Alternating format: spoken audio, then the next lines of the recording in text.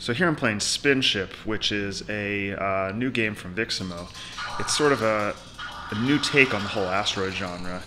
Uh, you're basically trying to blast your way through a field of asteroids, but the catch is that in order to steer your ship, you actually have to rotate your phone.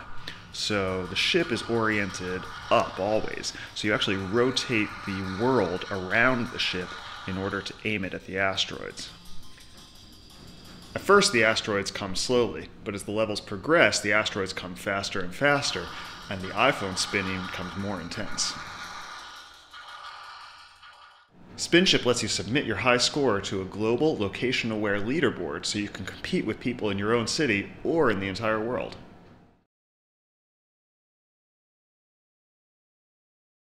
Spinship was built with VixML, which is Viximo's iPhone development platform, which lets creators develop iPhone apps and games without any programming required.